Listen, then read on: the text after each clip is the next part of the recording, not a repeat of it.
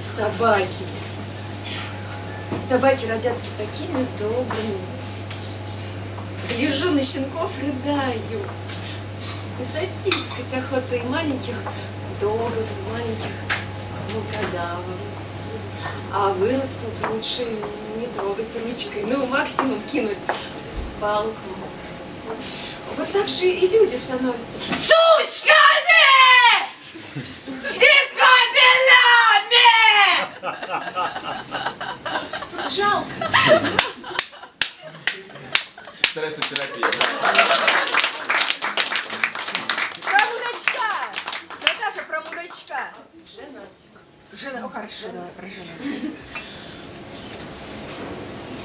Он говорит,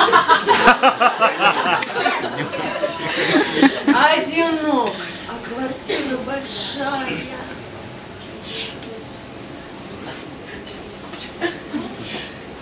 Найдутся, но ты по шкафам не ищи.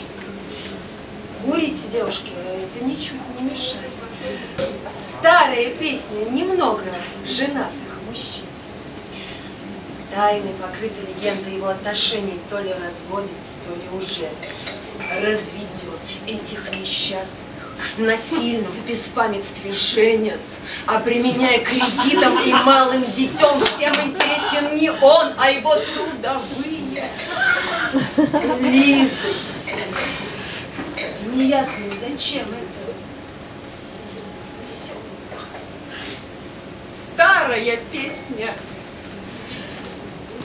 Но ты ее слышишь впервые. Значит, полюбишь, поймешь и, конечно, спасешь.